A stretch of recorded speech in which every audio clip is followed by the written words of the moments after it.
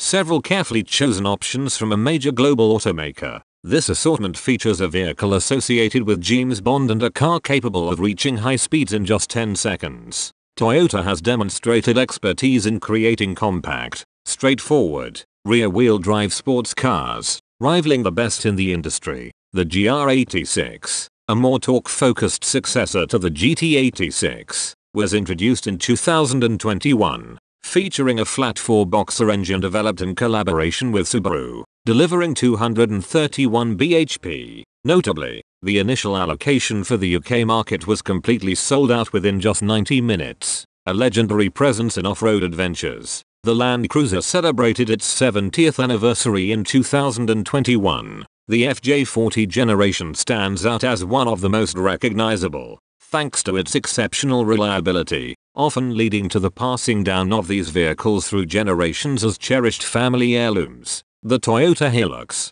renowned for its indestructibility, as showcased in Series 3 of TGTV, made its debut in 1968 and has evolved through 8 generations. In 2023, it maintains its pleasingly old school charm with real leaf springs and robust diesel engines. Introduced to the public at the 1965 Tokyo Motor Show, the 2000 GT, powered by a straight 6 engine, is often hailed as Japan's inaugural supercar. Numerous supercars have emerged since then, but few can rival the timeless aesthetic appeal of this iconic model. Despite sharing its name with a typical hybrid hatchback, the GR Yaris is a distinctly different breed, boasting 4WD, a carbon fiber roof, and the planet's most powerful production 3-cylinder engine, a 1.6-liter unit generating 257 bhp. It essentially serves as a rally car adapted for everyday roads. Surprisingly, Toyota excels in the luxury segment,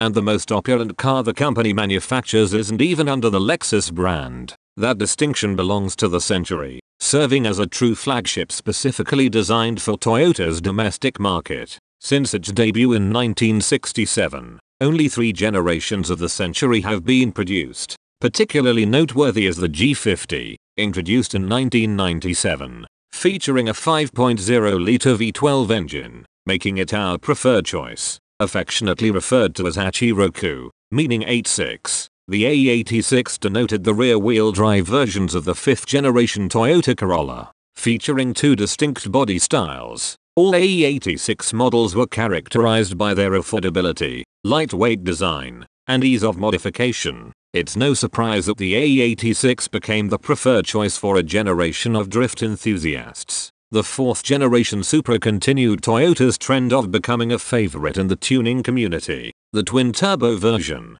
already formidable as a supercar killer in its stock form, boasted a 2JZ straight 6 engine capable of handling over 1000 bhp with specific modifications. Quite a powerhouse. While facing limited strong competition, the TS050 stood out as Toyota's hybrid prototype racer that secured victory at the Le Mans 24 Hours three consecutive times from 2018 to 2020. In 2016, it should have clinched the victory as well, but a breakdown occurred, allowing the Porsche 919 to overtake on the final lap.